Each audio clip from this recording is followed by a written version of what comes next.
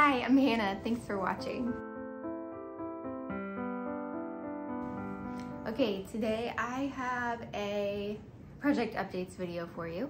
Um, last week I shared about my passport pullover and it was kind of like a design spotlight video and so I will I will link that up here for you.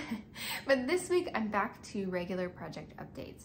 So I have um, a finished object, some new works in progress, and some acquisitions. I actually have two sets of acquisitions today. Um, so that's exciting.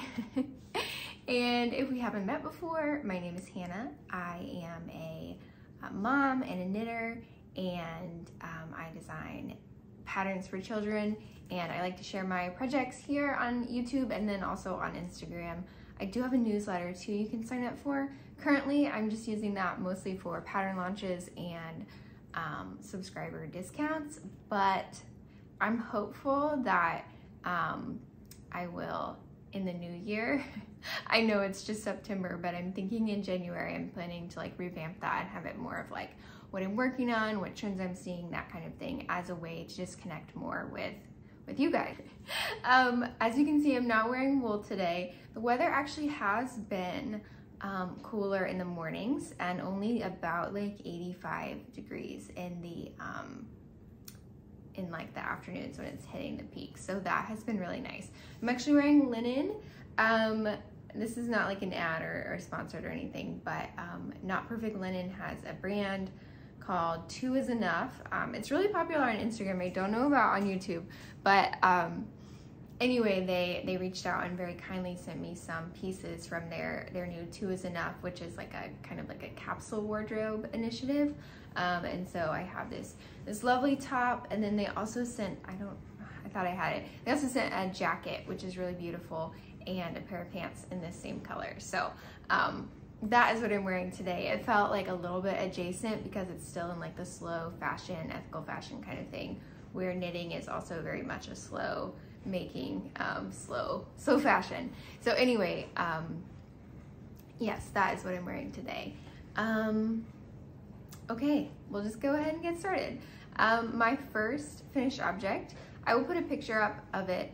Um, I finished a hat for my husband and it is sitting on the carpet right now, but it's super wet. I think it's just the wool that I use, but I blocked it last night and it is, I thought it would be dry. It's not dry at all. I picked it up to move it and it just like, you know how when you like pick something up that's still blocking and it just goes, like it all stretches out. So it definitely did that, um, which is fine, it's okay. I just reshaped it a little bit, but I made my husband a hat out of Kelbourne Woolen's Lucky Tweed. I don't think I shared it on here, but basically it's the same hat I made myself and my son. Um, we're taking a trip soon, and so I wanted to make us all new hats for our trip.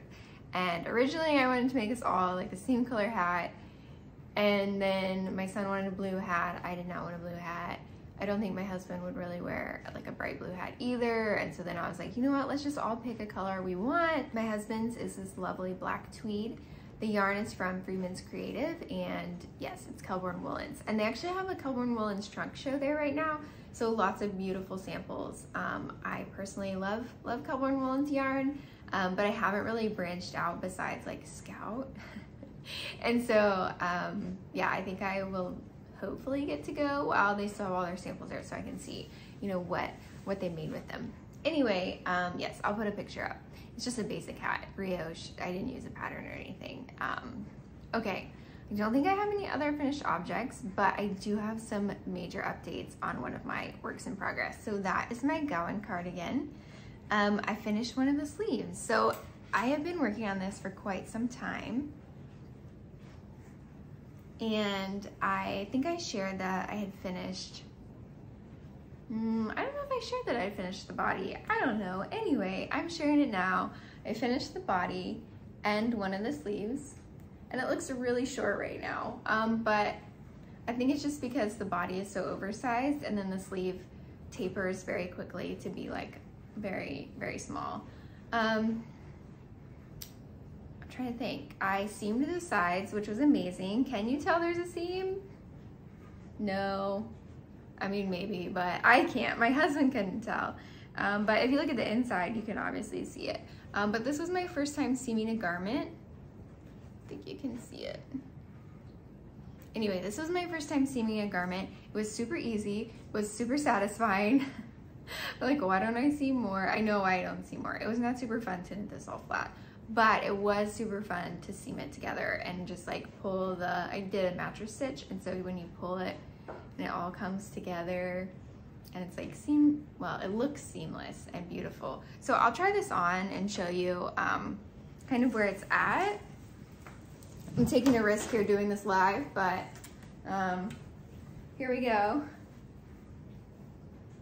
So this is the sleeve I finished. It is a little short, but I'm really thinking it's gonna grow with blocking based on how the um, sweater itself grew when I blocked it. So if I haven't heard me talk about this, I made the first size because I wanted a little less ease than recommended. Um, sorry, all my yarns are connected to this one. um, and then I made the size two sleeves and like underarm length or size three sleeves and underarm length because I wanted more uh, room here. So yes, I'm really happy with it. I don't have buttons yet. Um, and then this sleeve looks like it's almost done. I do think this will grow a lot. That's my goal with blocking um, both ways. But the pattern is designed to have like a more fitted sleeve um, and a looser overall body. But I feel like I'm, like I need to wear my glasses when I wear this. Like I feel like I'm very, it's very like professory, almost like academic vibes. Um, I think it will depend on the buttons I choose. But anyway, I'm almost done. I'm really excited. Um, yeah, I'm hoping to finish it up this week, but I don't know we'll see. There's a few other things going on um, that I need to, to work on. Okay, so now I have kind of a sad progress update. It's not really sad. there are a lot sadder things out there. Um, but I talked about this as like my trip sweater um, not too long ago. This is a Seela sweater by Laine Magazine. They're doing a knit along right now. Um, and I was super excited about it. I made it with my Peace Fleece worsted and I had this whole saga of like it smelled kind of bad because it had just been bagged up for a long time. Um, and I ended up washing it. I washed the sweater, the smell's gone, super exciting. And then, so I split for like the sleeves and the body and everything. And I tried it on and it's just too big for me, for what I was looking for. Um, like I'm really happy with, you know, how the yarn worked up, my modifications to include like the dip stitch.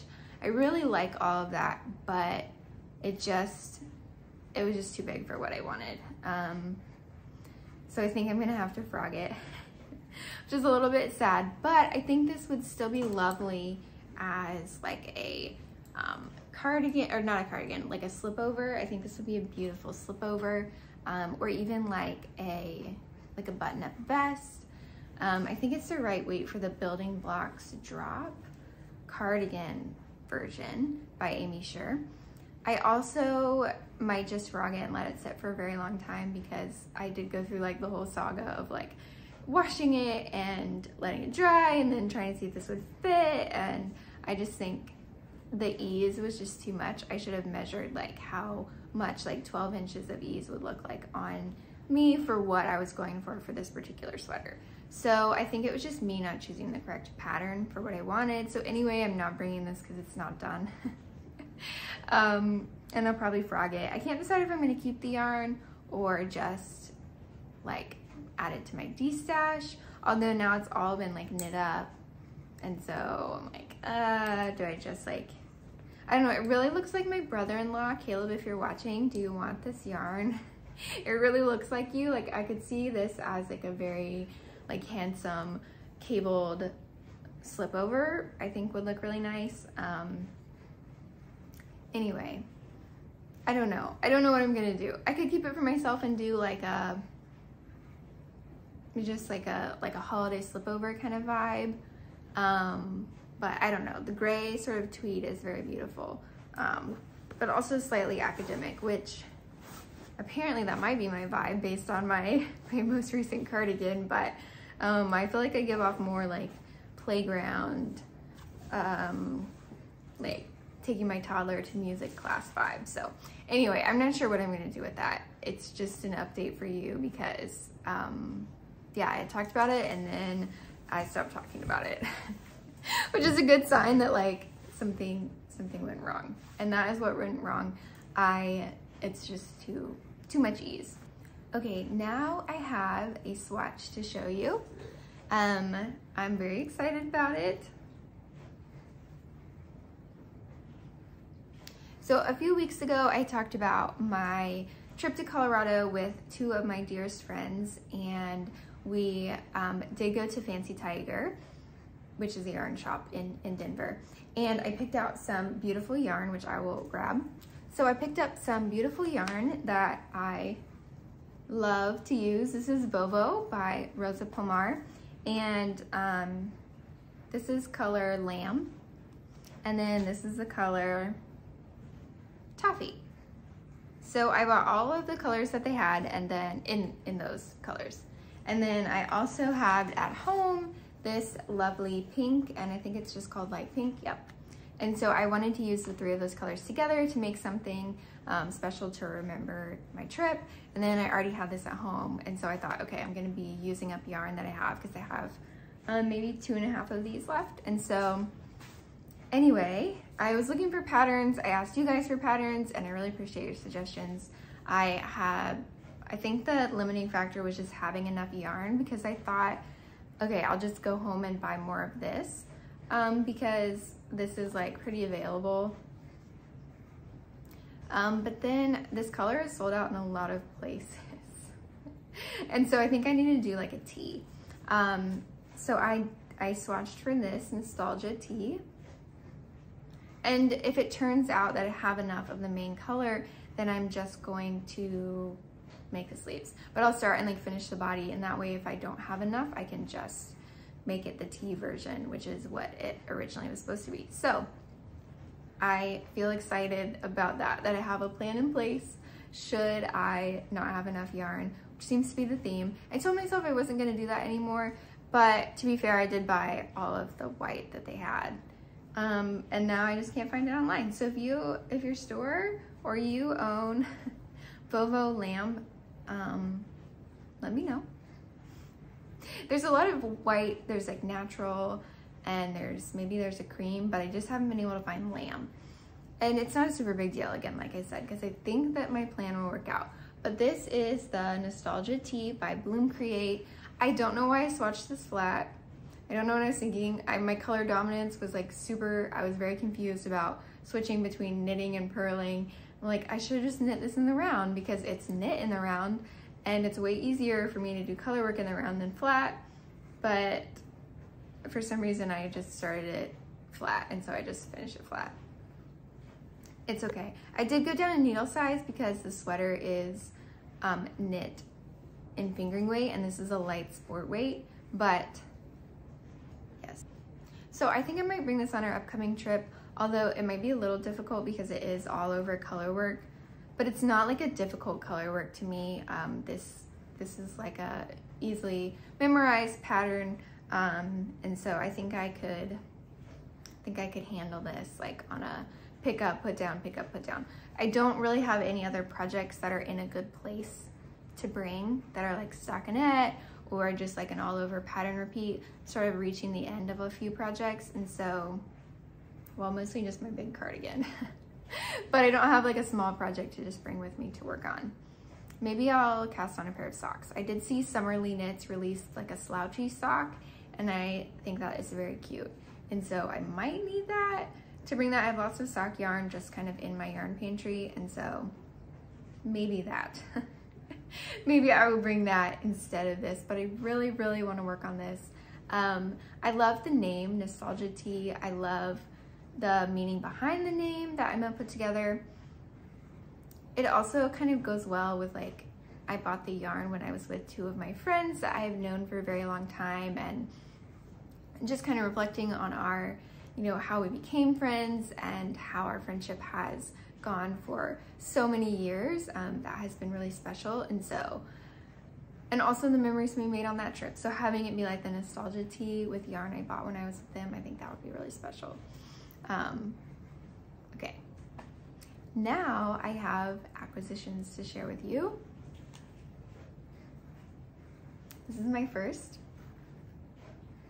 So to be fair, I did not buy either of these acquisitions. Um, my mom and sister kindly gave me this yarn. It has been um, a difficult week, few weeks um, at my house and um, just in our little family. And so I, I'm not gonna share about that here, but you can always DM me and say hi or whatever. But um, yeah, maybe, maybe one day, but not today.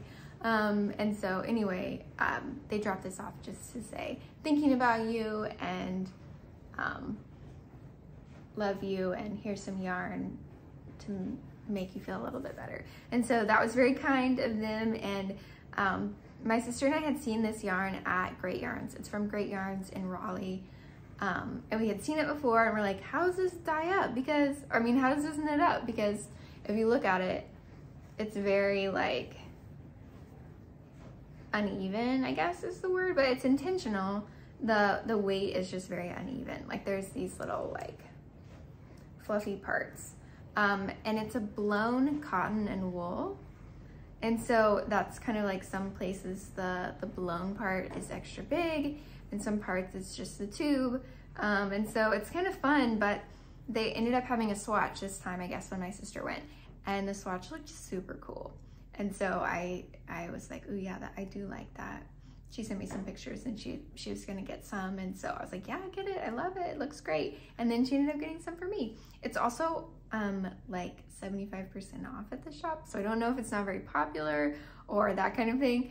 But um, if you're in Raleigh, go check it out. They have lovely pink and white, beautiful colors. Um, so anyway, it is like extra bulky, I think, or bulky is, is what it is. But um, I have, she got, they got me three of these. And so I'm thinking like a Sophie scarf would be cute or yeah, mostly that's what I'm thinking because it's about 300 and it's 330 yards. And so I'm thinking like a Sophie scarf or a Sophie shawl, or honestly, the way the swatch worked up, I feel like a, just like a stockinette scarf would be really beautiful because it does have that texture like just by itself.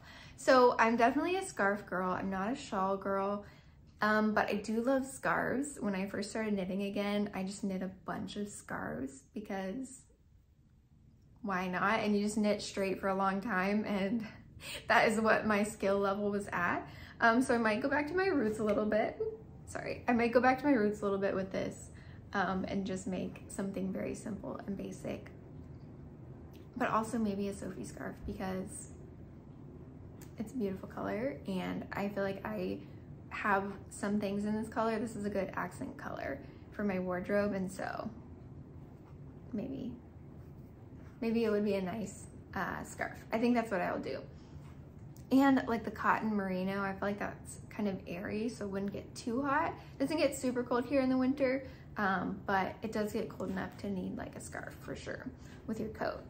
Okay, so that was my first acquisition, um, very kindly sent over by my mom and sister. And then the second acquisition, I cannot tell you what it's for, but it's coming soon. I think it's like, this video should come out on Saturday or Sunday. And then um, the like the knit along or whatever will drop on Monday. So it will be a close, um, close call. But this is from Purl Soho. They sent me um, two skeins of Cashmere Merino Bloom. Oh, so lovely. I've never used this yarn before. Um, and I am excited. So it's 75 merino, 25 cashmere, and this has 218 yards for 100 grams. So nice, that worsted, worsted weight. And I have the color wheat flour and warm honey. So I'm planning for these to be gifts. I'm really liking these a lot. Um, so they have a knit along coming up and um, I will be I'll be working with these. I think I might bring this actually on our trip because I can wind it up and it is an easy pickup and put down.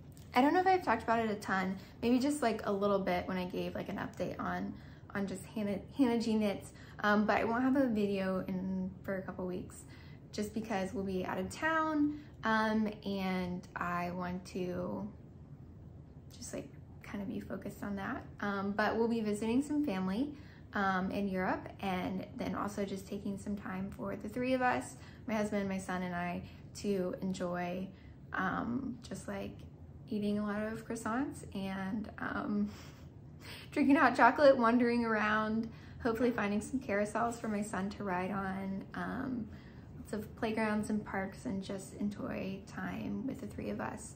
Um, I've mentioned we've had a little bit of a difficult season and so I think it will be really nice to just spend time doing nothing or doing everything.